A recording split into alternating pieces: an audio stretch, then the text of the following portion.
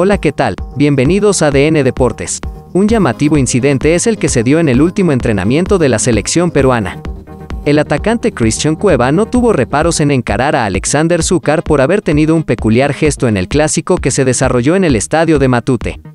Dicho incidente pudo ser captado por las cámaras de Best Cable, por lo que se muestra al popular Aladino acercándose hacia el delantero de Universitario de Deportes para darle un golpe en la frente.